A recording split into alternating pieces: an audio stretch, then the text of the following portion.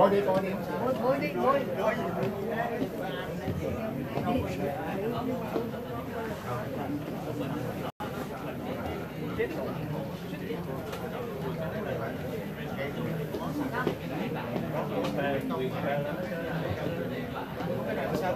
bên này là bối đi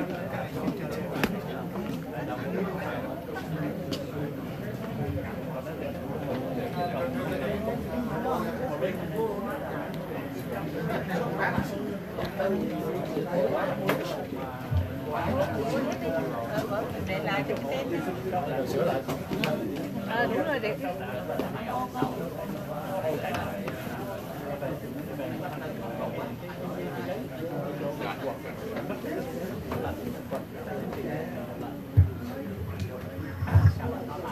test test test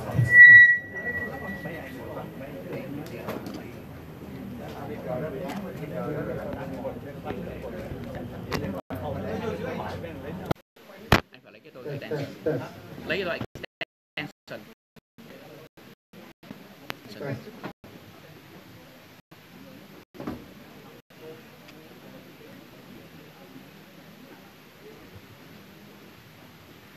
Đây, được rồi. Thôi điều đoàn anh Long. À, tôi à, Đinh Quang Chuột thân hoan kính chào mừng quý vị trưởng thượng, quý vị thân hào nhân sĩ, quý hội đoàn, đoàn thể, các đảng phái quốc gia và đặc biệt các cơ quan truyền thông báo chí đã đáp lại lời mời của Ban chấp hành Cộng đồng người Việt Quốc gia Nam Cali tới tham dự buổi họp đặc biệt ngày hôm nay để chúng ta bàn về vấn đề diễn hành Tết. Và bây giờ trân trọng kính mời toàn thể quý vị chúng ta đứng lên nghiêm chỉnh hướng về quốc kỳ quốc gia Việt Nam và quốc kỳ Hoa Kỳ để làm nghi thức khai mạc cho buổi họp hôm nay của chúng ta.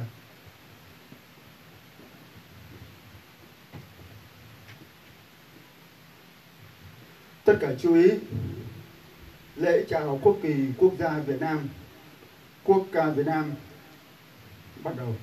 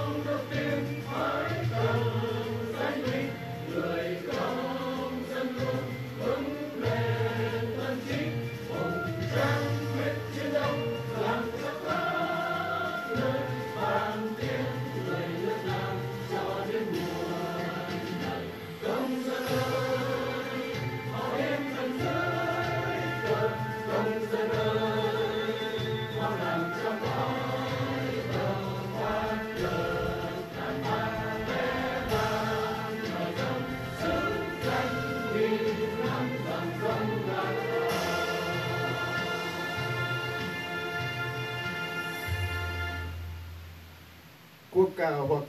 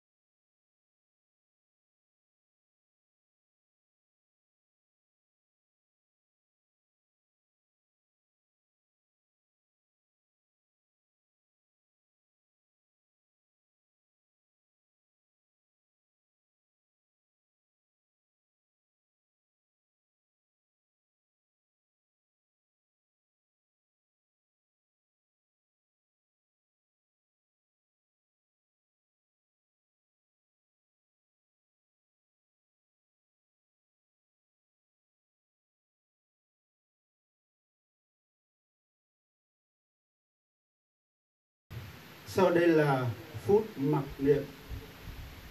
Phút mặc niệm để tưởng nhớ đến quốc tổ hùng vương và các bậc tiền nhân đã dày công xây dựng và bảo vệ tổ quốc Việt Nam.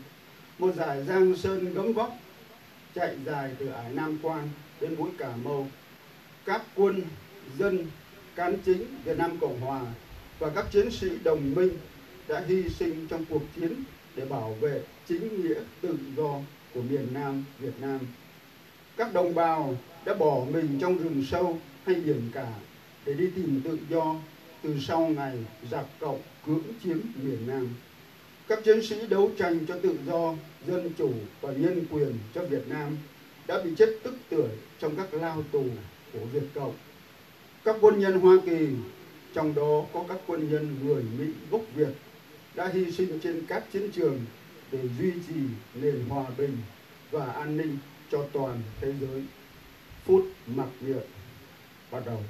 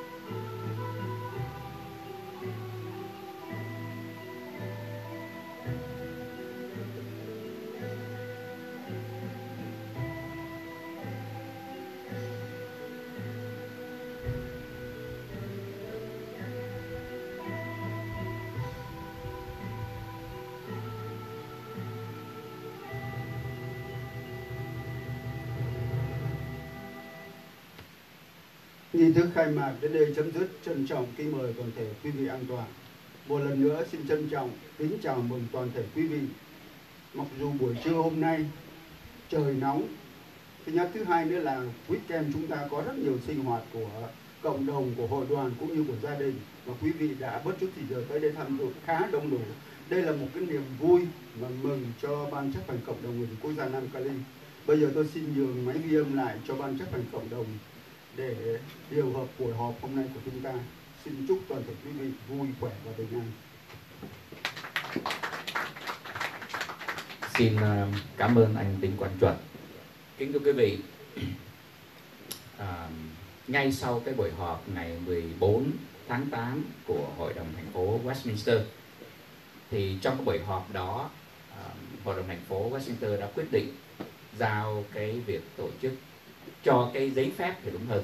Cho giấy phép tổ chức diễn hành Tết cho ông Duy Nguyễn và một vài một hai tổ chức uh, của trong cái nhóm của ông.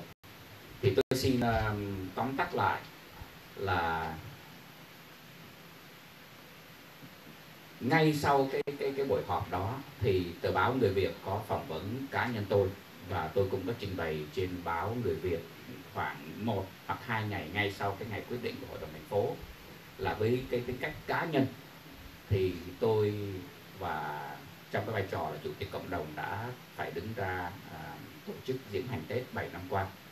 Thì trong 7 năm đó có 4 năm là tôi tổ chức với tư cách là chủ tịch cộng đồng và trưởng ban tổ chức diễn hành Tết và ba cái năm đầu tiên thì tôi à, đã giữ một cái vai trò hết sức là quan trọng đó là trưởng ban à, chương trình.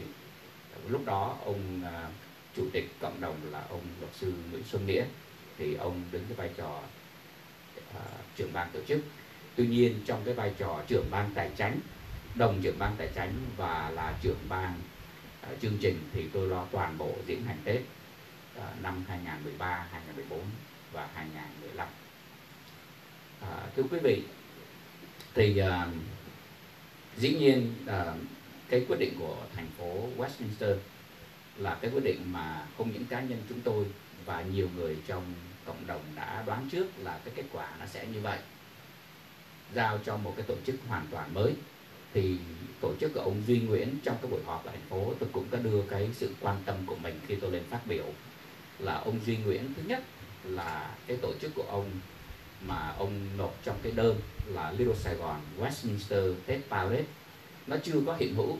Ông chưa có xin phép với lại tiểu bang và ông chưa có xin phép với à, quận hạt.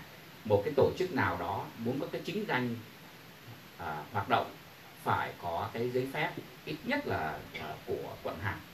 Và nếu không có à, của tiểu bang thì phải có ít nhất của quận hạt.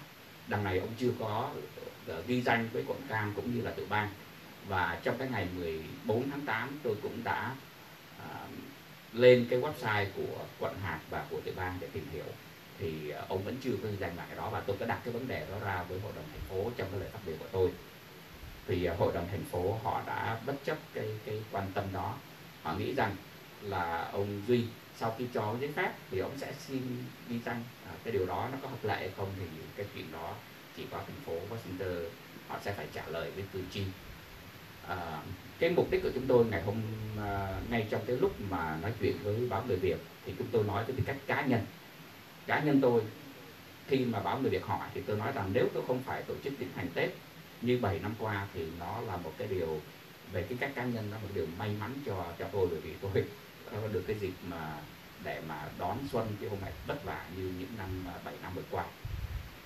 Cũng có một năm trong cái dịp đó là nó cũng rơi đúng ngày mùng một Tết quý vị biết là coi như là tôi không có thể nào mà còn chờ để mà cúng à, để mà rước ông bà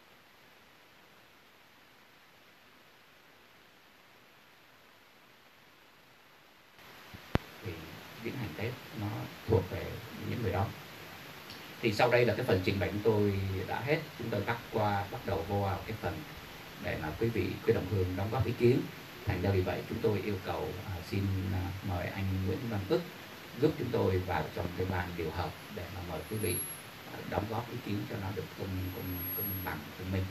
cũng như là mời anh à, Nguyễn Văn Trì Nguyễn Minh Trì xin lỗi Nguyễn Minh Trì để mà À, giúp chúng tôi, anh Nguyễn Minh Trì là tổng thư ký của à, tổ chức diễn hành Tết năm 2019 xin mời hai anh.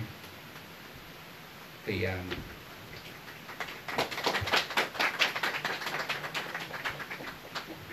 thưa quý vị để mà đóng góp ý kiến, chúng tôi yêu cầu quý vị, vì thì giờ không không có nhiều, chúng ta chỉ tập trung vô một đề tài mà thôi.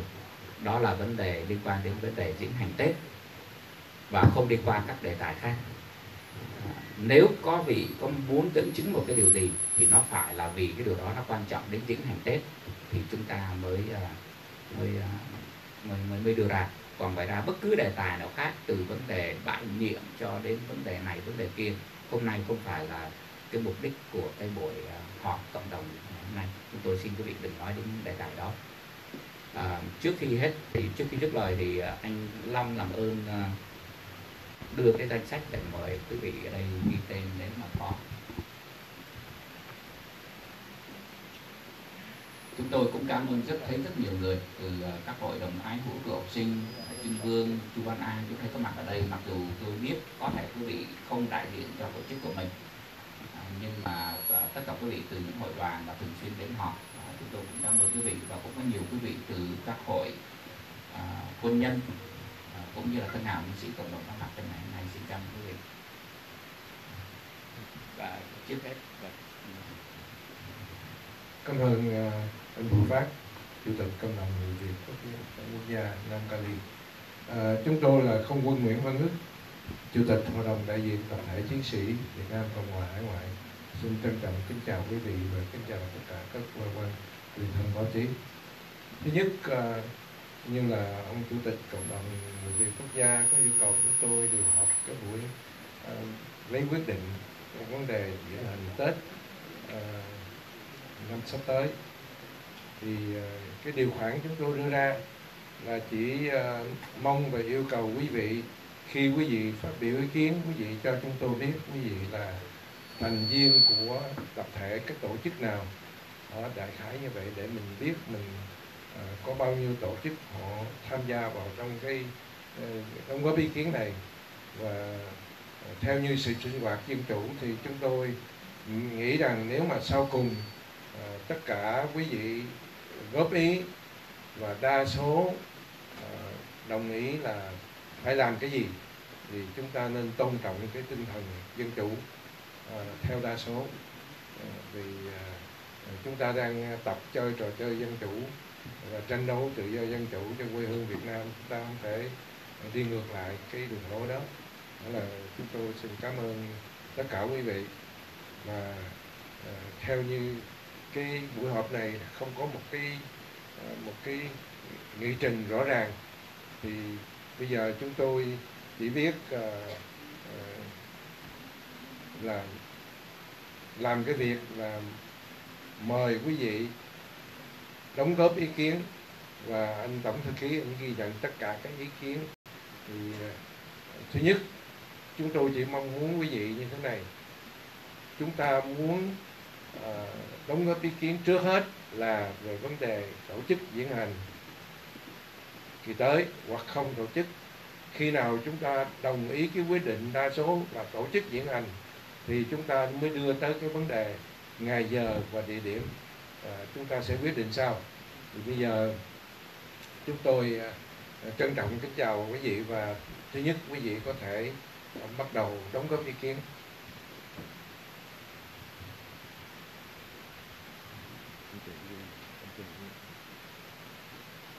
Kính thưa quý vị, chúng tôi là Tạ Trung, là Chủ tịch Hội đồng Giám sát của Cộng đồng người Việt Gia Nam Cali. À, chúng tôi phát biểu với tư cách là Chủ tịch của ông Hội đồng Giám sát. À, kính thưa quý vị, để tiếp lời anh à, Bùi Phát, là Chủ tịch của Ban điều hành, thì à, anh đã trình bày là sau khi mà có cái quyết định à, của thành phố Westminster thì trong nội bộ ban cơ chế chúng tôi cũng có một cái buổi họp để mà chúng tôi à, bàn thảo lại là chúng ta có những cái ý kiến gì và có những cái quyết định gì à, chung cho à, cộng đồng người Việt Nam Cali và sau khi phân tích những cái vấn đề thì chúng ta dĩ nhiên là chúng ta thấy đây là cái quyết định thành phố nó nó không có sự công bằng. Tuy nhiên cái đó là những cái điều mà chúng ta cũng đã tiên đoán được rồi. Thì uh, ba cơ chế chúng tôi ngồi lại với nhau là ngay cả bản thân tôi câu hỏi anh phát sau khi anh phát trình bày là uh, anh nói có một số hội đoàn là muốn chúng ta cùng tiếp tục để mà làm uh, lại cái diễn hình Tết vì cái những sự quan tâm như anh vừa trình bày. Thì uh, chúng tôi có bàn bạc rất là nhiều những cái lợi cái hại cũng như những cái vấn đề mà tại vì đây là cái uy tín chung của cộng đồng của tập thể của uh, cộng đồng người Việt quốc gia chứ không phải là một cơ chế của ban điều hành hoặc là một cơ chế nào nữa. Thì cho nên chúng tôi bàn thảo rất là thận trọng trong vấn đề này những cái lợi cái hại có nên làm hay không và à, nếu mà trong trường hợp có những cái đặc cái điều mà anh Phát nói là có những hội đoàn họ muốn như vậy thì chúng ta phải làm thế nào? Thì cái thưa quý vị, trong cái buổi họp đó, chính bản thân tôi tôi đặt lại cái câu hỏi rất là rõ ràng với anh Phát trước khi chúng tôi bàn là chúng tôi hỏi, cá nhân anh anh có muốn làm hay không? Chúng tôi muốn biết cái điều đó rất là rõ ràng và xin anh xác nhận trước mặt mọi người. Thì anh cũng trả lời giống như câu hỏi mà anh đã nói quý vị cũng như là bác người Việt. Thì anh nói là chúng tôi rất là mệt mỏi, nếu mà đây là cái cơ hội mà nếu mà không làm thì rất là bản thân tôi rất là tốt tại vì chúng tôi có cơ hội nghỉ ngơi. À, nhưng mà cuối cùng thì anh nói vẫn có một số hội đoàn à, muốn tổ chức. Thì sau khi mà chúng tôi phân tích thì thật sự là trong anh em chúng tôi đa số là muốn nghỉ ngơi một năm.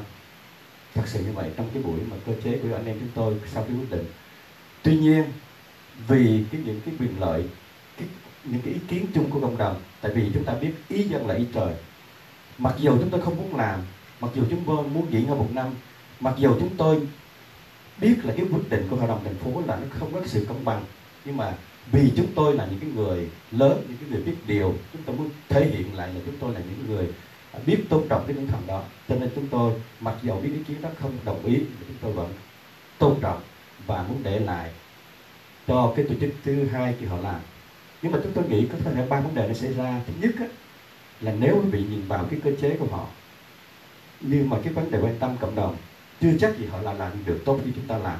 Nếu mà họ làm trong cái tinh thần mà à, tích cực như chúng ta tự lực cánh sinh như chúng ta thì chắc chắn họ không làm được cái điều đó. Cái điều đó rất là chúng tôi nghĩ là chắc chắn như vậy. Tuy nhiên có lẽ là họ có những cái sự mà hậu thuẫn tiền bạc rất là nhiều phía sau lưng đó thì nếu họ làm như vậy thì có thể họ cũng sẽ làm được tại vì họ có nhiều tiền họ sẽ bỏ ra rất là nhiều tiền họ sẽ tổ chức gọi là 10, 10 ngày kia. Thì đó là những cái vấn đề mà chúng tôi phân tích. Cái lý do chúng tôi muốn nói đây là chúng tôi muốn phân tích cái nào lợi cái nào hại chúng ta có nên làm hay không. Tại vì khi phân tích như vậy rồi chúng ta thấy là cuối cùng đi đến quyết định.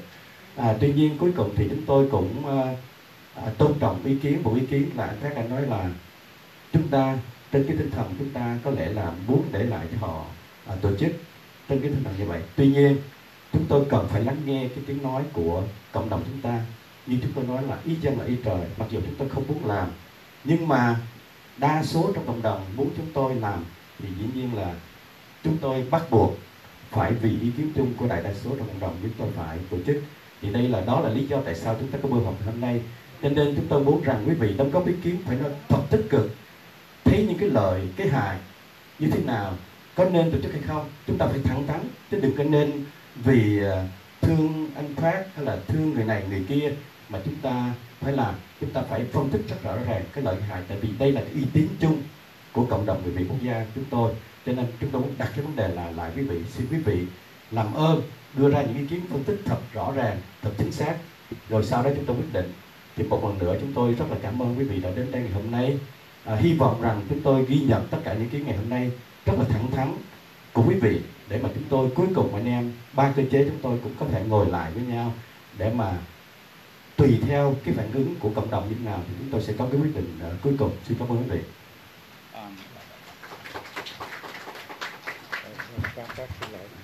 À, một lần nữa chúng tôi sorry là chúng tôi quên là vì cái thời giờ nó có giới hạn cũng như anh em ờ, ờ, quý vị ở đây đông chúng tôi ờ, đề nghị là chúng ta nên giới hạn đóng góp ý kiến 3 phút maximum.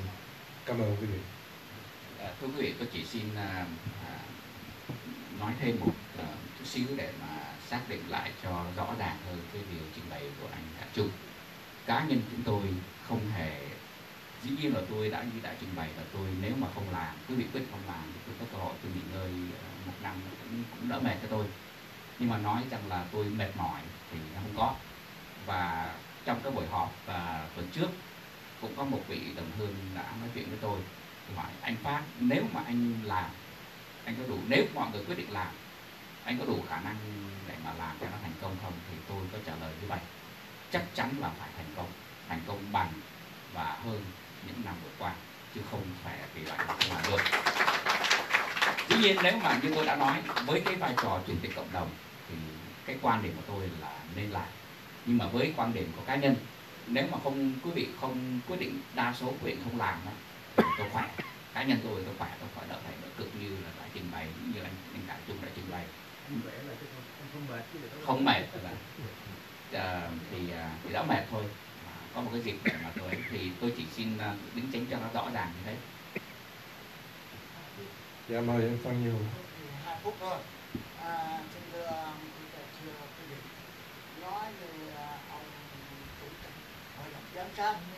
Anh để micro gần nói như ông chủ tịch hội đồng giám sát cũng như là ông chủ tịch hội đồng điều hành của chúng ta là hai người đứng đầu trong cộng đồng. Mà nếu như cá nhân thì chúng tôi cũng cá nhân tất cả đều cá nhân. Nhưng mà chúng ta phải nói là tập thể cái đã. Bởi vì cá nhân quý vị đã trục rồi thì khi mà quý vị đã hướng dẫn chúng tôi, thì quý vị đã mất một phần nào cái nghĩa khí. Cho nên tôi không đồng ý với ông chủ tịch ờ, hội đồng giám sát cũng như ông chủ tịch cộng đồng của chúng ta. Đừng nói cá nhân, bỏ đi. Bởi vì tất cả đây chúng ta là tập thể, chúng ta phải nói tập thể. Tuy nhiên, với ý kiến của tôi, không làm, chính nghĩa của chúng ta mất tôi đã nói bữa họp vừa rồi, không làm, chính nghĩa của chúng ta mất và chúng ta để cho những kẻ tôi sẵn sàng nói, làm không đúng theo tương vị của người tị nạn thì nó mất cái nghĩa của chúng ta. Xin hết.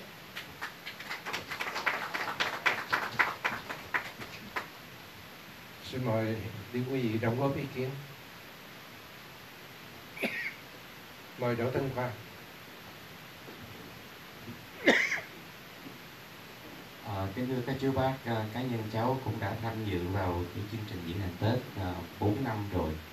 À, theo dõi những diễn biến xảy ra trong những ngày tháng vừa qua, thì như anh Phát đã nói lúc đầu là có những cái ý kiến khác nhau nên hay không nên làm và làm thì sẽ làm thời điểm nào và ở đâu đó là ba điều chúng ta đặt ra mà ngày hôm nay à, cháu xin được trình bày ba điểm thứ nhất diễn hành Tết năm 2012 sẽ đánh dấu 45 năm người Việt tị nạn. Là một cái điều mà chắc chắn chúng ta không thể bỏ qua. Nếu chúng ta quyết định không làm thì 20 2020 nếu chúng ta quyết định không làm thì diễn hành Tết trên đại lộ Bonsa cũng sẽ diễn ra. Điều đó chắc chắn là điều mà chúng ta biết thành hay bại, tốt hay xấu, nó cũng sẽ diễn ra. Nhưng có duy trì được cái ý nghĩa duy trì văn hóa Việt và chính nghĩa của người Việt tị nạn 45 năm hay không? Nếu chúng ta quyết định làm, thì thời điểm nào? Đỗ Tân Khoa nghĩ rằng chúng ta không nên làm trùng ngày. Tại vì một lần nữa, Mặc dầu chúng ta có chính nghĩa nhưng mà tại sao chúng ta để cho cái sự tức giận của chúng ta, Nó phá đi cái ý nghĩa đẹp của chúng ta? Đó là duy trì cái nền văn hóa Mà bản thân nó ngay từ trong nôi đã có sự chia rẽ, Cạnh tranh Và dẫn đến những người không thuộc hai bên, Họ sẽ có một cái quyết định rất khó để chọn tham dự ai và cuối cùng nó chẳng có đi đâu cả. Chúng ta làm một việc mà chúng ta biết được rằng số lượng sẽ giảm phân nửa chúng ta làm một việc mà chúng ta biết được rằng sẽ có sự tranh chấp với nhau. Chúng ta làm một việc mà chúng ta biết rằng người ta phải chọn giữa bên này và bên kia. Chúng ta đặt những người đã sát kích cánh cùng với chúng ta trong nhiều năm vào một cái quyết định rất là khó xử. Thành ra, cháu nghĩ rằng nếu chúng ta quyết định làm, thì chúng ta làm lùi lại một tuần. Tại vì có những cái chương trình Tết những chương trình hội chợ Tết thực hiện ở đây ở LA ở nhiều nơi trong nhiều thời điểm khác nhau thì cũng có rất nhiều người đi. Và chưa chưa nói đến là nếu chúng ta có sự hỗ trợ của các em trong tổng hội sinh viên các em bận rộn trong những ngày đầu năm mùng 1, mùng 2, mùng 3 Tết thì chúng ta lùi là một tuần các em sẽ có thể giúp đỡ chúng ta nhiều hơn nữa đặc biệt là giới trẻ. Và chúng ta làm một tuần sau đó thì chúng ta trước tiên nói đến là chúng tôi không phải tranh giành với quý vị cái ý nghĩa cao đẹp của diễn hàng Tết là duy trì cái nét văn hóa người Việt của chúng ta và đặc biệt là 45 năm người Việt xa xứ. Thành ra cháu xin đề nghị với cá nhân của cháu chúng ta vẫn làm và nếu chúng ta làm chúng ta sẽ làm lùi lại một tuần. Dạ vâng, trước thì rất là nhiều khê từ vì mọi người đang chuẩn bị đón Tết không có thời gian để mà tập trung về diễn hành Tết. Còn sau Tết một tuần rồi thì chúng ta sẽ có thời gian hơn. Và thứ ba thì cháu vẫn nghĩ rằng, như là ý kiến cháu nói với anh Phát, là chúng ta làm ở trên đường Westminster từ Brookhurst đi hướng về Garden Road. Sẽ có một cái mini hội chợ đó và tất cả những xe hoa sẽ có dịp để mọi người cùng chiêm ngưỡng. Thì đó là ba điểm mà cháu đề nghị trong ngày hôm nay.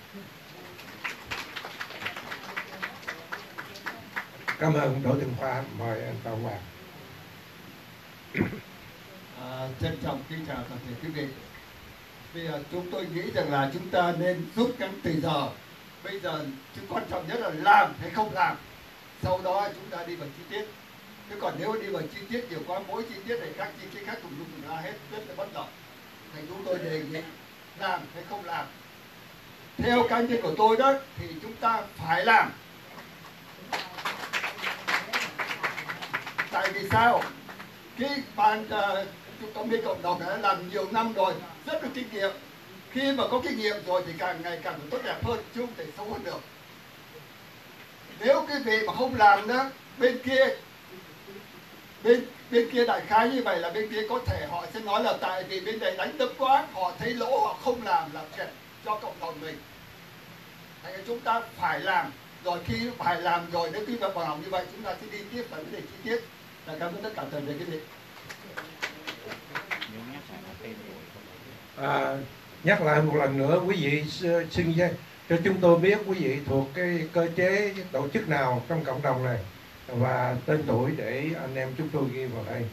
Mời anh Sơn. Tôi uh, chắc lẽ cộng đồng cũng biết rồi nhưng mà quý vị ở trên bàn thủ tọa muốn uh, xưng danh xưng tên. Tôi là nhạc sĩ đấu tranh. Từ ngày rời khỏi chế độ cộng sản đến nước mỹ này. Tôi tôi là trương ngọc duy sơn. Tôi đồng ý với những quý vị là chúng ta phải làm. Đó là cái điều thứ nhất. Rồi chúng ta sẽ bàn đến sau. Và làm ở đâu, chúng ta sẽ bàn tới tiếp. Lý do tại sao chúng ta phải làm.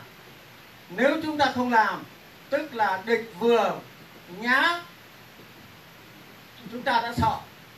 Chúng ta không phải rút lui luôn. Thì không được. Đánh nhạc. Thì khi địch nhá ra, chúng ta sẽ làm tham mưu và đánh địch, cho địch phải gục luôn. Đó là cái điều thứ nhất. Cái điều thứ hai là làm như thế nào, chúng ta sẽ bàn sau và làm ở đâu. Tôi xin ngừng ở đây. Xin cảm ơn quý vị. Cảm ơn anh sơn.